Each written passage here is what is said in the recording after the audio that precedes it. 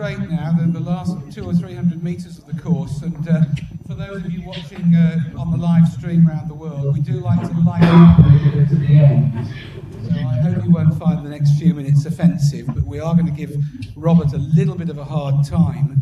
And uh, to start with, I think we've seen some of the inequalities between the healthcare systems around the world. And uh, the reason the French system's so good is one of their senior managers did have a problem a few years ago. And, uh, and this, I think, will explain why things have improved in France. No, it's not running. Il faut le mettre à l'écran là. La vidéo. La vidéo. La vidéo, l'écran. Two seconds while we connect. You're, Are we on? you're on the screen now. Okay. So this, I think, explains, you know, why the French system has improved. with sound? No. Sound? So this is the, the senior manager at the French clinic here. Very acceptable lifestyle.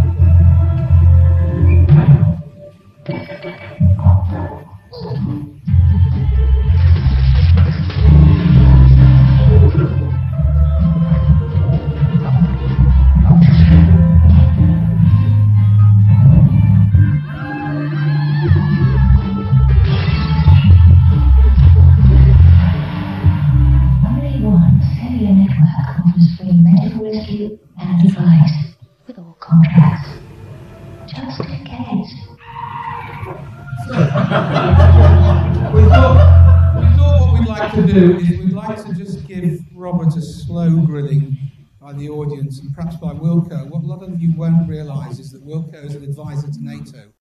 And before, before he worked in AMC and then UMC, yeah, he was on a boat. Yeah, he was, uh, he was a captain in the North American fleet.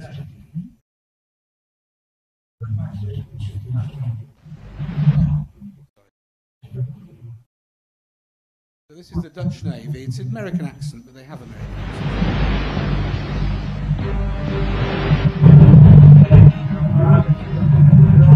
Again, this is the USS Montana requesting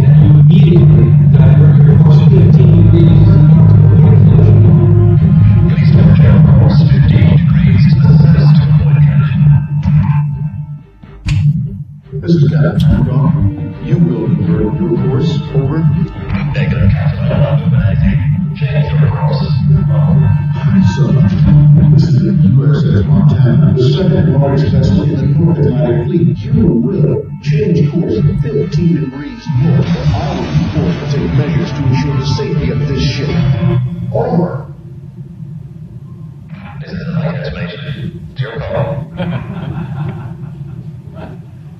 So we've talked about communication on this course, and uh, I think that the guys at the Causse clinical show had great though on communication. But we've got a few minutes left, so we're just going to talk to Robert really about malleus relocation and other aspects of ossiculoplasty and staging surgery. And, and Wilko's going to be the bad cop.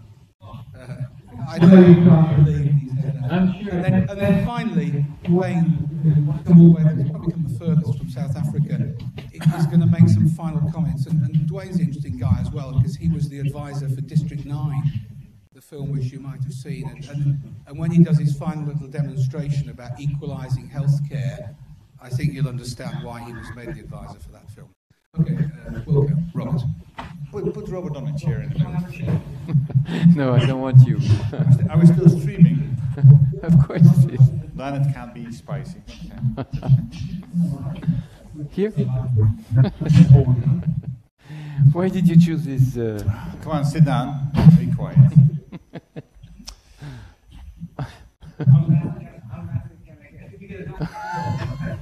no question. You're always nasty, so it's. Okay. All the audience Okay. Can take part. You Good. can take part. Good. I, I think before being nasty, it's also a good prelude. It's it's extremely nice surgery we've seen, although we didn't see the results of the surgery yet. But anyway, it was great surgery. But one thing to remember is there are many variables. And Robert, help me thinking what variables may determine outcome. Measuring. Hey, there you go. Now, but, no, but it's not the same. Measuring that you mean, I thought you referred to audiology. Huh? because there are many different outcomes, and of course, this, it's undisputed the quality. I mean, I mean, everybody's convinced fantastic quality, but I think one of the questions is: Can you do you think that everybody in this audience will ever do the celestic bending? Well, Thank you. And the next question is: everybody will do malleus relocation deliberately? deliberately. Thank you. And, uh, come on, Robert, answer. Uh, well, yes, I think so. What do you mean by deliberately? Who in the audience thinks will ever do celestic bending? Ah, So there you go. I see some British fools and some very good surgeons. So I need some more years to convince everybody. Okay. Now, uh, Robert, but the honest truth is, of course, it's not only about convincing. Because who's convinced that celestic bending will give, give a good result? Who thinks that Robert's results are good? okay. but who thinks that he would? Uh, who, who thinks would uh, get the same results as Robert would get with celestic bending? Gaskets in the BMW. Come on. No, can I comment on that? Can I 10 comment? years, of course, it's a question. No, you could get the same results. It's just because I have the chance of uh, being here in a clinic where I'm operating a lot of patients, which means that I have a great experience now in the stapes surgery and also the reconstruction. It's not because I'm a better surgeon than the others. It's just because I have the chance that I have this experience. That's the point.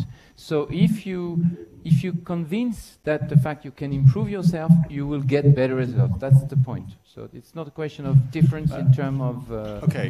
uh, it's true. I really feel that. Except Wilko, who cannot, but it's different. I'm already very specialized.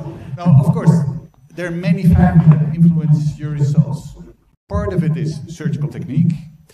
Of course, it's the setup in the OR that will make a big, big, big difference. Always the same nurse, always the same coffee, always starting late. Robert can sleep in because he only does two patients a day. So, I mean, there are many factors that will help getting good results, Robert. Yeah. But okay, I think a good surgeon starts with choosing the right patients. Oh yeah, a good Because indication. we haven't we haven't talked about that a lot. Can you tell us? I think it's true. Choosing the first patient. And second point, this is, uh, I think, an important uh, step. You need to face your failures. If you look to your failure, you need to accept your failure, the fact that you can fail. That's the first point. Then you need to be able to talk about your failure, presenting directly in front of everybody your failures and uh, discussing about the failure, accepting and then sharing the failures. I think it's the way to improve. You're absolutely right. We, we need to be honest about our results. I think Yeah. that's true. Um, you have you ever tried for the camera for the, the internet? Have you ever tried the Dresden clip piston? No, never, but I'm very interested in. You, you should try because it would be very because as uh, working in healthcare, we should try to achieve proof. Of Yeah, what but you know the, the main reason why I didn't try for, until now. results are good. No, it's not that. It's not only that. It's because the uh, the fact that the head is not HA. It's titanium. So in with this prosthesis, you need all the time to interpose a Yes. cartilage. Yeah. And for me, it's something which is a part of a regression compared to HA, which is perfectly uh, biocompatible. Oh, but, but like the discussion this morning, uh, you used the malleus replacement prosthesis and the uh, Grace Medical adjustable prosthesis.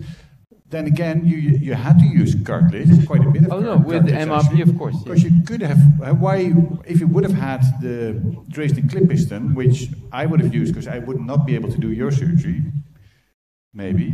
Uh, why, I I'm, mean, I'm that- sure. that I, I disagree. You know that, but anyway. yeah, but it, it could have been an alternative, huh? Because Yeah, yeah, of course. John asked me because No, I, he, I, he doesn't I want do to do agree. it. I do agree. Okay, so so what's the first lesson that we learned today? I agree. That's the first time that he agrees, actually. No, very good. So I, th- I think a successful ear surgeon is a successful doctor that's able to select the right patients. And I think what we've seen today is very nice ideas to have in your toolbox when you run into a surprise, because we all still run into surprises. Uh, oh no, John. So I was hoping about the audience, Wilko audience thing? The audience thing. Okay, what do, what do you think about John? No, no. Come on. Final 15 minutes. Be controversial. Come on. Ask him some difficult questions. That's why you're here. Please. Or you all stunned. Good. Ah, a New Zealand one. I'm, I'm not sure it's a difficult question. It's just the we sort of discussed it yesterday, and I didn't really come to a conclusion in my mind. Um, your Malleus relocation, you, you've made the Malleus very mobile, and if you attach that to a piston, do you have results for that? It strikes me, just intellectually looking at that, that's a very risky situation. Is that the I would say risky, not risky, but you may have maybe more failure in this case. But uh, I have data, but I cannot tell you the results now because I need to go to my database and Yeah. select the items. But of course I've done, and it's more unstable. You are absolutely right. It's good if you put a if you put a, a, a, real uh, prosthesis uh, with a large head underneath the relocated malleus because the prosthesis itself will help to stabilize the, the, the malleus also.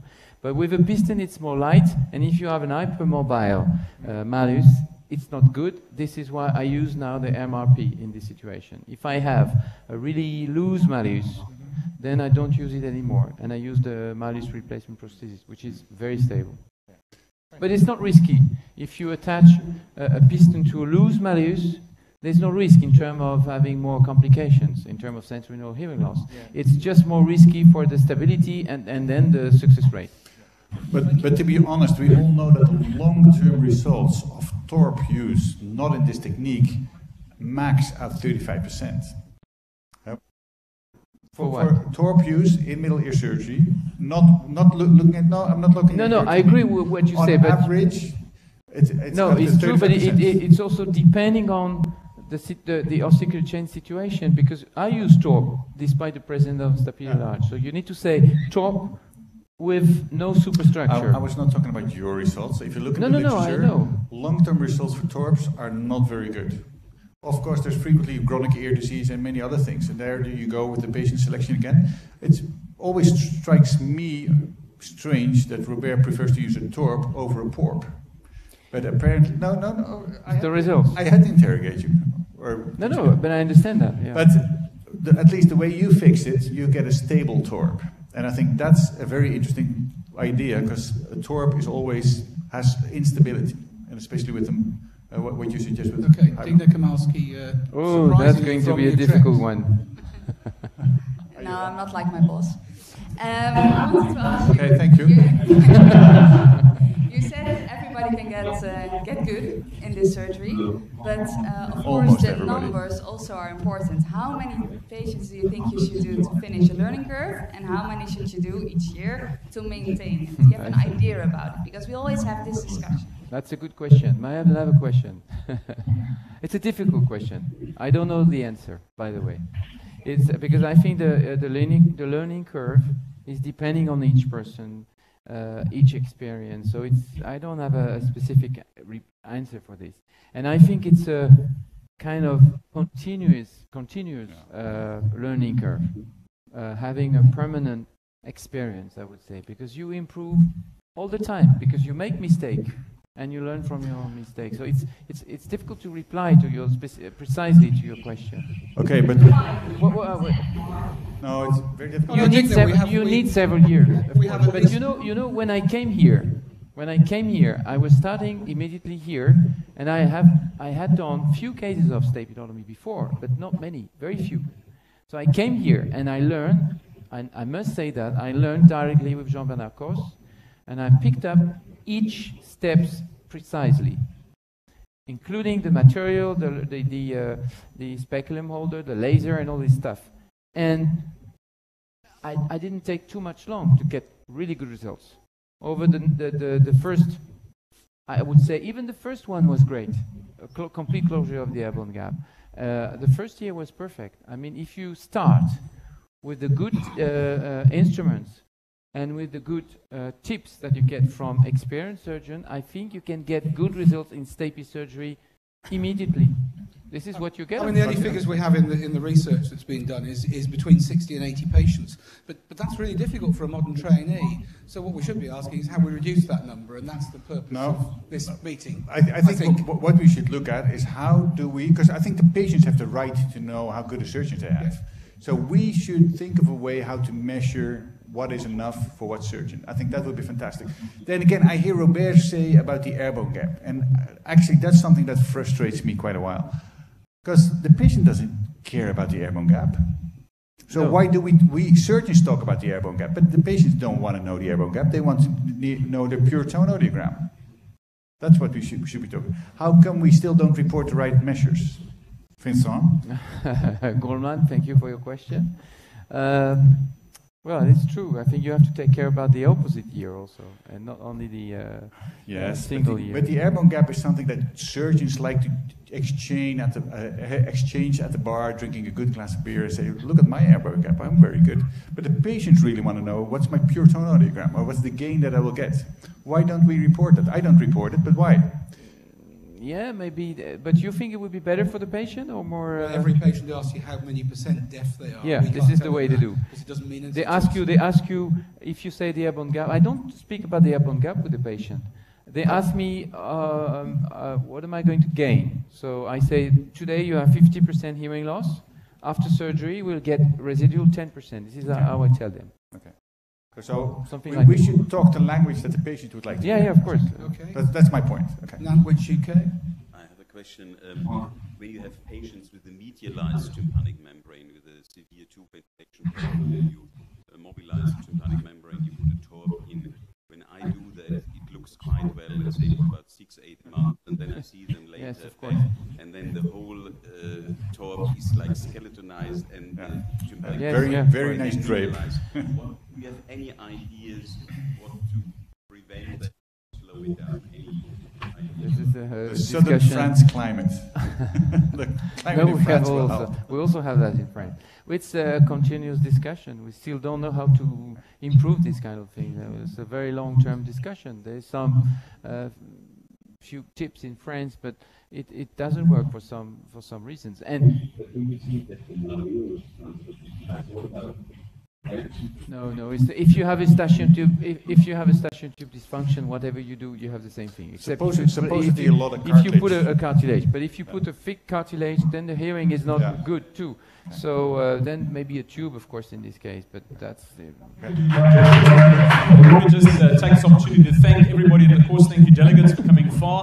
We want to thank um, the, uh, especially the people at the back here, the audiovisual guys. Uh, they've done an incredible job. Maybe they can just come out so we can see them on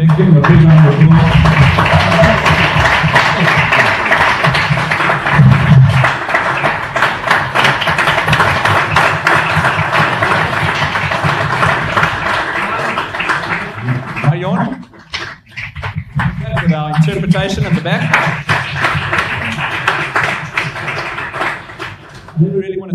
Theatre sisters. I know they're not here uh, live at the moment, but they really just please convey our thanks to them. They really did a hard work behind the scenes and uh, to make it easy for us to enjoy great surgery. So thank you very, very much for that. And then lastly, we want to thank the French surgeons. To Robert, to Renaud, to uh, Thibault, and uh, Francois, thank you very much. We learned a lot from you, and again, tips. Amazing.